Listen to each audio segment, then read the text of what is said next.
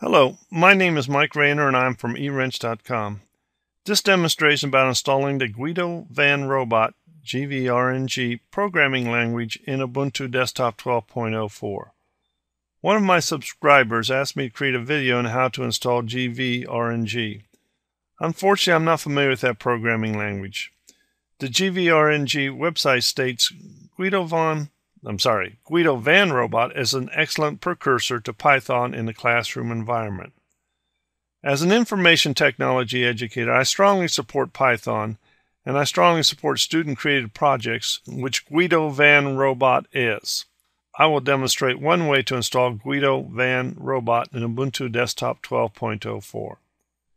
It involves setting the execution bit on the gvrng.py file. So the outcomes here, install Guido Van Robot and then set this execution bit. Requirements, internet connection, and Ubuntu Desktop 12.04 32-bit. And additional info from the Guido Van Robot homepage, gvr.sourceforge.net. To begin installing Guido Van Robot, click on the Ubuntu Software Center. Once it opens, we will do a search for GVR. GVR. And here we have Guido Van Robot NG selected and simply click on install. Of course, we need to supply a password.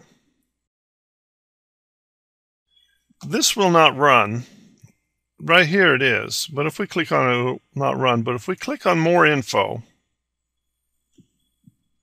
and scroll down through the reviews, we'll see that one of the reviews says you have to change permissions on the gvrng.py file in this directory, USR share, to uh, to get the uh, Guido Van Robot to install. Essentially, you have to uh, give it the execution bit and so it'll allow it to run.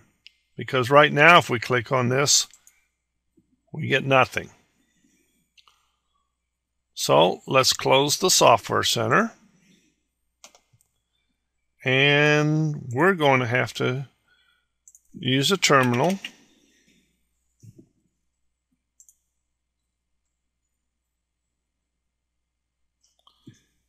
and we're going to go to CD US R sh share. And I think it was GVRNG with a capital. It's the correct directory. Do an ls slash l to gvrng.py. That way I'll only have this, whoops, that away slash L and then gvrng.py, which is a file that we're going to change.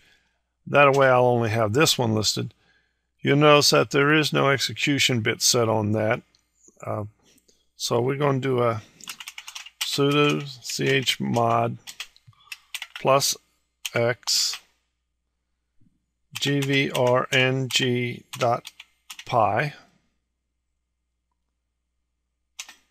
of course password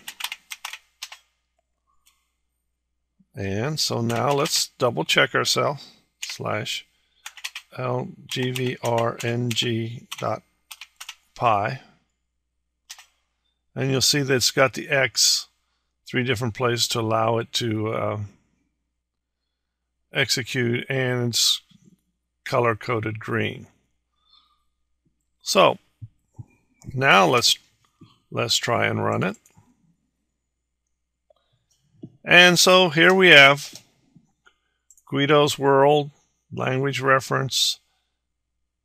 And if we go up here for GV, we've got the, some context help right here, or we've got some menu items right here.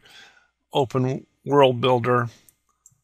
And so this is how it looks. Unfortunately, like I said, I'm unfamiliar with it, but uh, at least it's got installed and it starts up.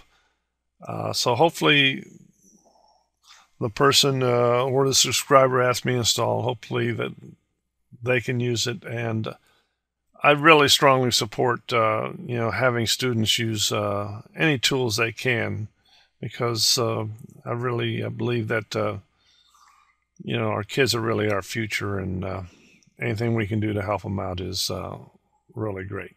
Thank you.